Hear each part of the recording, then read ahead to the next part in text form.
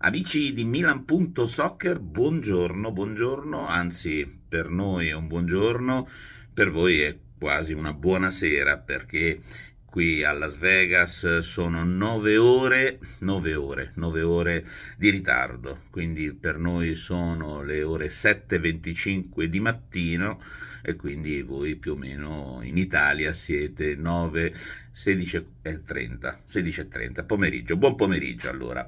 Ci stiamo per preparare comunque per vedere ancora un pezzo di Serie A, quindi siamo anche noi sul pezzo e quindi vedremo la partita della seconda squadra di Milano, quindi vedremo che cosa succederà in questa un po' pazza classifica. Prima di cominciare vi ricordo di iscrivervi qui sotto al canale, iscrivetevi numerosi, è gratuito, tutto gratuito, per cui abbiamo bisogno di farvi entrare in questo club, un club virtuale. Ci sono tante persone che scrivono commenti, alcune mi sono già diventate amiche, riconosco i loro loghi, ma a settembre inizierà una un format particolare si chiama Mettici la faccia. Anche voi potrete eh, mettere la faccia sul nostro vostro canale e questo poi accadrà nei modi che vi diremo. E allora parliamo di Milan, Milan, Milan e ci sono buone notizie. Partiamo già dal fatto che ci sono buone notizie. L'incontro Taremi-Milan è un incontro che avverrà questa sera a cena, poi domani ci sarà un incontro ufficiale, quindi il primo ufficioso, il secondo ufficiale, ed è Taremi l'attaccante, l'attaccante del Milan. Ci sono tutte le condizioni per poter chiudere la trattativa. Una trattativa che, ci tengo a dire, è una trattativa che ha... Sto cercando le parole giuste a proposito di parole giuste, qualcuno mi ha scritto che PSG Paris Saint-Germain eh, si pronuncia Paris Saint-Germain, Saint-Germain eh, oppure un'altra Olivier Giroud, Olivier Giroud. Allora, mh, mm, c'è una differenza tra il francese scolastico e il francese di strada. Dopo tanti anni vissuti a Parigi e con amici della curva di PSG che loro chiamano PES, per cui la strada è un'altra cosa, vivere la strada, vivere il linguaggio vero dei parigini e dunque dei francesi, così come ad esempio la prima volta che mi salutarono non dissero come io avevo studiato garçon o monsieur, ma dissero allez le mec, per cui pensate quanto è difficile, no? o anche ad esempio il PSG come detto dicono PES, bonjour dicono jour bon, non bonjour ma jour bon. Chiusa la lezione di francese, era dovuta dopo tanti anni a Parigi vissuti. E, um, il Milan non mi ha fatto una buona impressione la società sull'attaccante, devo essere sincero, uh, perché se dall'inizio, se dall'inizio avessero detto no, noi non partecipiamo a quelle aste per intenderci stile di bala, ed è anche stata un'idea di Paolo Maldini non partecipare a quei, a quei big, ormai non più big, che possono portare merchandising, ma poi di fatto non portano più di tanto. Guardate di bala, dai, gliel'hanno dato rotto, diciamocelo francamente.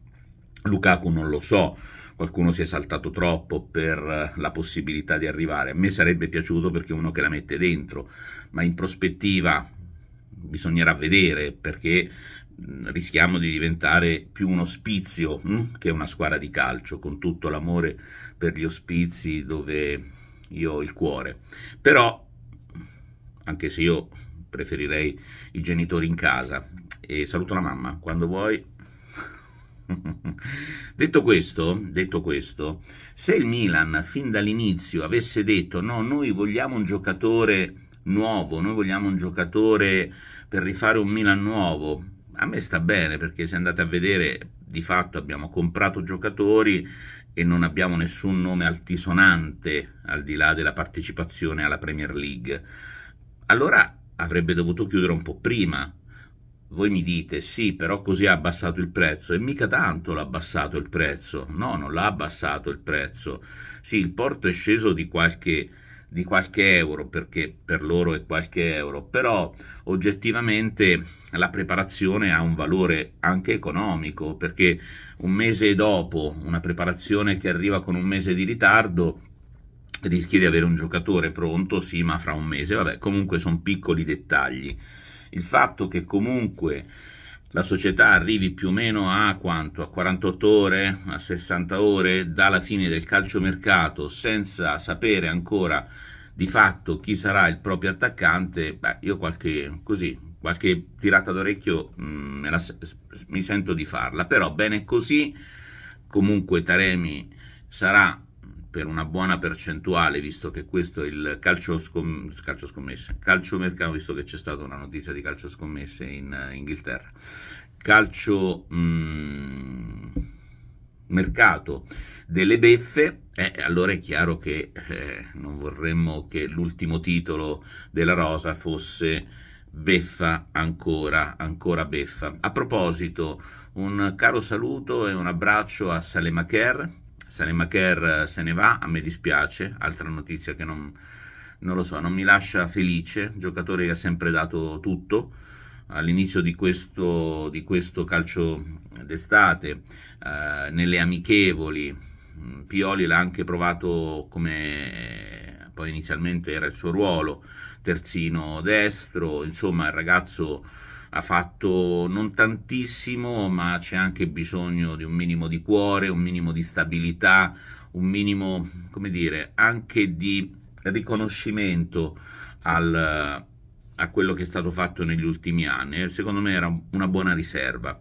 Eh, c'è un commento che ho letto questa mattina quando mi sono alzato e che mi avete mandato. È vero, Krunic eh, Pioli si è impuntato, diciamo così, ma per Tonali no. È vero, è vero. Eh, è vero anche la differenza di prezzo, cioè da una parte quanto era? 80, 70 con soldi da dare a destra e a sinistra, dall'altra parliamo di 15 milioni, però è anche vero che l'età conta, l'età di Tonali è un'età giovane, puoi avere un futuro in prospettiva molto lungo e dall'altra parte hai un trentenne a 15 milioni, secondo me un Tonali così giovane a 70-80 milioni e un Krunic a 30 anni con eh, una richiesta di 15 milioni, un'offerta di 15 milioni, più o meno si equivalgono, equivalgono.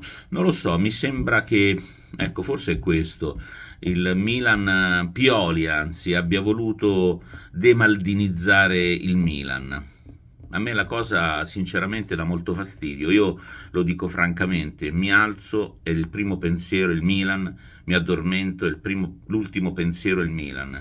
Eh, sto male se pareggia, non vi dico se perde, non vi dico se perde contro alcune squadre, eh, vivo con il sorriso, al di là della vita privata, che è un'altra cosa, solo quando c'è la vittoria del Milan. Io vivo per la vittoria del Milan.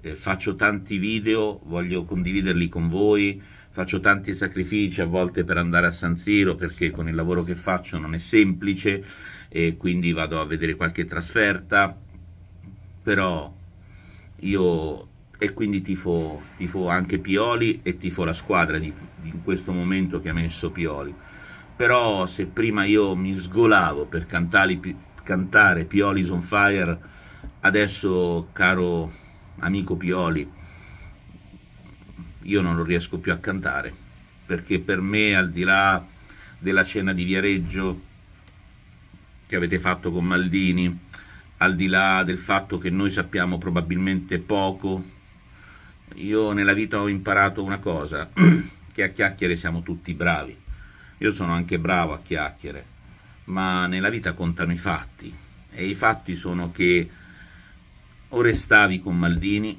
o andavi con Maldini. Ora sei restato, hai fatto un braccio di ferro che secondo me hai vinto, ma il braccio di ferro adesso ce l'hai con noi, perché noi è vero che spingiamo dalla tua stessa parte, però nel momento stesso in cui le cose non dovessero andare non ti difenderemo più come abbiamo fatto in passato. È tutto, ci sentiamo più tardi con, uh, speriamo, in buone notizie anche dall'ultima partita di Serie A. Un abbraccio, ciao ciao!